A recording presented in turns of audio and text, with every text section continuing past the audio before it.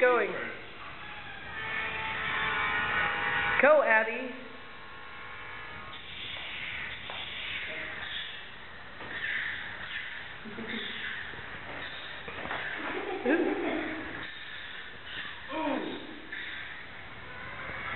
Did somebody press the button yet?